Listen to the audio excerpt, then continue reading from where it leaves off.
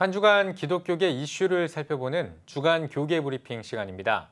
스튜디오에 기독신문 박용미 기자 나와 있습니다. 안녕하십니까? 안녕하세요. 네, 지난 월요일부터 대부분의 장로 교단들이 화상으로 총회를 진행하고 있는데요. 아무래도 이 화상 총회가 이전까지는 없었던 유례가 없던 일인지라 우려하는 목소리도 많았는데 또 큰 사고 없이 진행되고 있다고 들었습니다. 자세한 소식 전해주시죠. 네, 코로나19가 교단 총회의 모습도 바꿔놓았습니다. 길게는 4박 5일까지 열리던 총회가 하루로 줄고 1,500여 명이 한자리에 모이던 회의가 화상으로 열렸습니다. 음. 지난 월요일과 화요일에 예장 합동, 통합, 고신, 합신, 백석 등 다섯 개 교단이 화상회의 시스템인 줌을 사용해서 회의를 열었는데요. 음. 특별한 기술적인 사고 없이 총회를 마무리했습니다. 네. 한 장소에 모일 수 있는 인원이 50명 이하였기 때문에 총회는 노회별로 거점 교회에서 모이거나 아니면 총대들이 개별적으로 시스템에 접속하는 두 가지 방식을 선택했는데요. 식사와 간식도 제공하지 않았고 4시간에서 6시간 동안 회의를 진행하면서 다섯 개 교단이 모두 새 임원을 선출했습니다. 음. 네, 뭐 1년 중에 가장 중요한 선거라든지 뭐 결의들을 비대면으로 처리해야 되고 게다가 또 이제 준비 시간이 짧아서 이게 잘 열릴 수 있을까 뭐 이런 우려의 목소리도 있었는데 음. 예, 각 교단들이 거점 교회와 함께 또 꼼꼼하게 잘 준비를 하면서 어떻게 무사히 잘 마친 것 같습니다. 네, 교단들은 거점 교회 직원들을 파송하고 또 영상 시스템이 제대로 갖춰지지 않은 교회에는 각종 물품을 지원하면서 화상 회의를 준비했습니다. 네. 거점 교회들과 수시로 소통하고 다수의 리허설도 거쳤고요.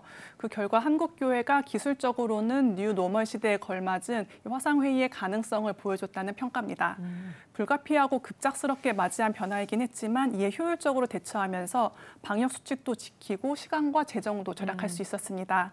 예년에는 총회를 개최하는 이 한 교회의 어깨가 무거웠는데요. 거점 교회들이 그 짐을 조금씩 나누면서 부담감도 줄었습니다. 네. 어떤 것에나 장단점이 함께 있으니까요. 화상 회의도 그랬을 것 같은데 대면 회의보다는 원활한 토론이 어려웠다라는 게좀 문제로 지적됐죠. 네, 그렇습니다.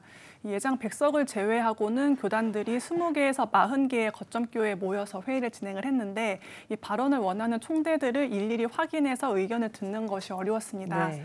50분 동안 손을 들고 있었는데 발언권을 주지 않았다거나 음. 중앙 본부에만 있는 총대들에게 동의를 구하고 넘어갔다. 혹은 거점 교회에 모인 총대들은 들러리가 됐다. 이런 음. 항의가 많이 있었습니다.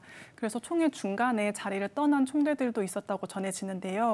이 적게는 300명에서 많게는 1,500명의 총대들과 화상 회의를 하다 보니까 아무래도 쌍방향이 아닌 일방향적인 총회가 됐다는 점이 아쉬운 부분입니다. 네. 또 교단들이 일정을 하루로 줄이면서 다음 회기를 이끌어가 임원 설출, 선출만 진행을 했는데 선거와 이취임식, 의전, 인사 등에 너무 시간을 많이 할애한 나머지 총회가 의견 교류회 장이 아닌 선거만을 위한 시간이 음. 되어버렸다 이런 아쉬운 점이 남았습니다. 네, 네 뭐새 임원을 선출을 해야지 뭐 회기를 시작할 수 있기 때문에 아무래도 그 선거에 좀 많이 중점을 뒀던 것 같은데 선거를 제외한 예, 꼭 다뤄야 될 주요 안건들 이런 것들은 총회 현장에서 좀 다뤄지기가 않아서 이런 부분이 좀 아쉽게 느껴질 수 있겠네요. 네, 그렇습니다.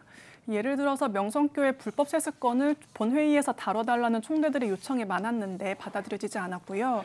또 사회적으로도 이슈가 됐던 정광훈 목사의 이단 지정권 역시 논의하지 못하는 등 대다수 음. 교단들이 중요한 안건들을 처리하지 못했습니다.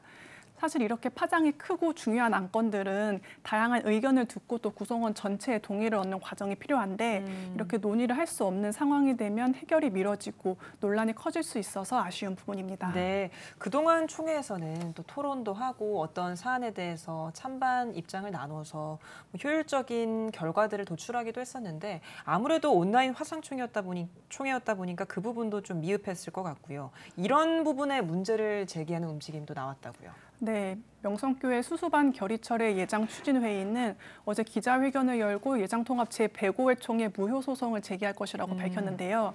총대들의 발언권과 회의 규칙을 인정하지 않고 직권 남용을 했다면서 총회장 탄핵 운동까지 전개할 뜻을 밝혔습니다. 음.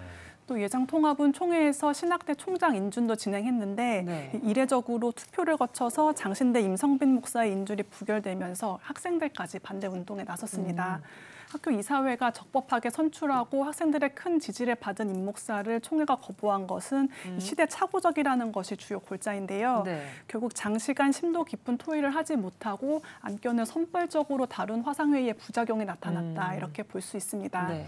이에 예장통합 총회장 신정훈 목사는 소통이 원활하지 못했던 점은 유감이지만 이 재난 상황에서 고심 끝에 최선을 다해서 준비한 화상 회의였기 때문에 그 어떤 의도도 없었다면서 총대들의 이해를 구했습니다. 음. 네. 사실 이런 문제 제기가 나온다는 것 자체가 건강한 공동체이기 때문에 이런 어, 문제가 어, 문제 제기가 나오는 것이 아닌가 이런 생각이 좀 드는데요. 어, 이 밖에도 뭐 미진한 안건들 있는데 이런 것들을 어떻게 처리해야 되는지가 좀 궁금합니다. 어, 예장 합동만 해도요, 뭐 100여 개가 넘는 예, 이런 어, 헌의안들이 있고 예장 통합도 뭐 40개 넘는 예, 이런 헌의안들이 있는데 현장에서 이런 걸 다루지 못했잖아요. 어떻게 처리합니까? 네, 대다수 교단들이 미진한 안건에 대한 결의를 임원회로 넘기면서 예년보다 임원회의 권한도 커지고 또 부담도 커졌습니다. 또 따라서 소수가 독단적으로 결론을 내리지 않도록 여러 의견을 듣는 시간들이 필요할 것 같습니다. 이 교단들마다 상비부 회의를 거치거나 노회장들을 초청해서 의견을 수렴하고 또 실행위원회와 논의를 하는 절차를 거쳐서 중요한 안건들을 처리해 나갈 예정입니다. 예. 회의는 하루로 끝났지만 교단들은 앞으로 1년 내내 더 역동적으로 움직이면서 산적 한 안건들을 주의 깊게 처리할 것으로 보입니다. 네, 아무래도 이번 총회에서는 다수 의견을 듣는 게 어려웠기 때문에 새로운 총회에서는 잘 준비를 해서 보완을 해야 할 것 같은데요. 이렇게 화상 회의를 진행하는 게 사실 갑작스럽게 이뤄진 거지만 또 한편에서는 이제 화상 회의가 열리는 게 좀 당연한 시대가 왔다. 그래서 잘 준비해야 될 거다라는 이야기도 나오는데 어떻습니까? 네, 각 교단들마다 화상 회의에 대한 법적인 기준이 없었기 때문에 이번에는 절차에 있어서 많은 총회를 많은 것들을 잠재하고 네. 이번 총회를 개최한 것이 사실입니다. 네. 앞으로는 이런 문제가 발생하지 않도록 철저한 법과 제도를 마련할 필요가 있습니다. 예장 고신의 경우는 총회를 3일에 걸쳐서 열고 예장 합신은 총회 전에 상비부를 미리 조직해서 기본적인 논의를 한 뒤에 화상회의를 열었는데요. 이렇게 각 교단에 맞춰서 융통성 있는 방안들을 마련해야겠습니다. 네.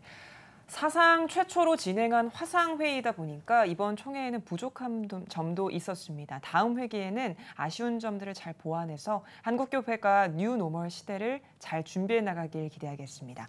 박영미 기자 잘 들었습니다. 감사합니다.